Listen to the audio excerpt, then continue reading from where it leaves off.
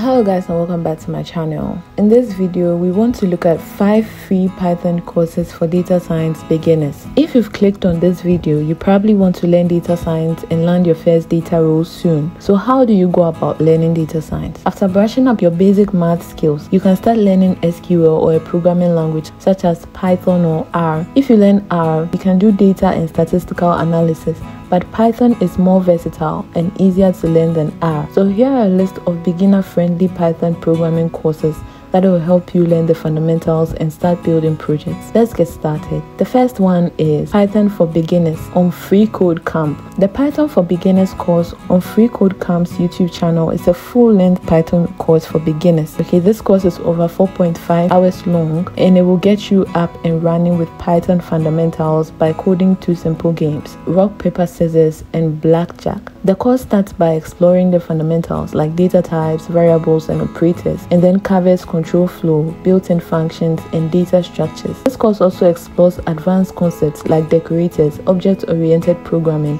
and functional programming. Mind you, this course does not assume any prior programming experience with Python, but it covers enough ground to help you feel confident to start building your own projects. Next, is Python on Kaggle. If you prefer working through bite-sized text-based lessons and running code snippets along the way, the Python course on Kaggle is for you. Besides the basics of Python syntax and variables, the course covers the following topics: functions, booleans and conditionals, lists, loops and list comprehension, strings and dictionaries, working with external libraries. Number three, Python tutorial with mini projects on Free Code Camp. In the first course, Python for Beginners, you'd have coded two simple game projects. The Python tutorial for beginners with mini project is a video course with 23 chapters, each focusing on a different topic. Throughout the course, you get to work on several mini projects. The course starts with basics like data types and built-in data structures, but it also covers the following topics: function, recursion, scope and closures, command line arguments, lambdas and higher order functions, object-oriented programming, errors and exceptions, file operations, virtual environment. Next is the Python tutorial on W3 Schools. This tutorial has bite-sized lessons along with quick practice exercises and examples that you can run in the browser. The W3 Schools Python tutorial covers the following topics: control flow,